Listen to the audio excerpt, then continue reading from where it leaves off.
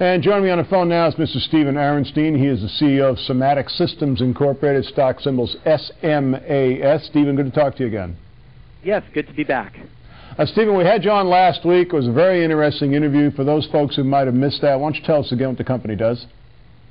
Okay, well, Somatic Systems is uh, the leader in the field of prime somatics. This is a revolutionary pain care method uh, which uses gentle, non-invasive uh, physical therapies to retrain the nervous system to control the body differently, uh, very quickly uh, and permanently eliminating chronic conditions such as low back pain, uh, carpal tunnel syndrome, tension headaches, a whole series of orthopedic problems that other fields struggle with for years to treat, and we take care of of a few visits.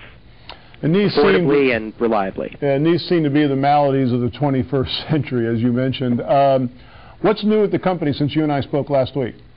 Well, last week we talked about how you know this is sort of the big time for us. We're we're coming into a, a, a whole new level of media attention on us, uh, consumer awareness, discovering you know this as I said this best mousetrap that we sell, um, and the world will be beating a path to our door soon to take advantage of that.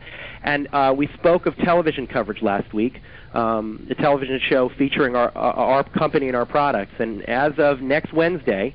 Um, we will uh, that television show will be featured on Women's Entertainment Television, uh, also known as WeTV.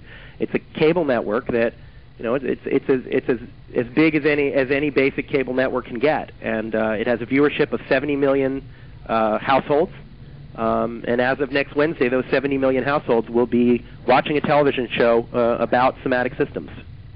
That's exciting. Congratulations on that. Again, Somatic Systems, stock symbols SMAS. For more information, call us toll free, 888 259 4449. Stephen, thanks for the update.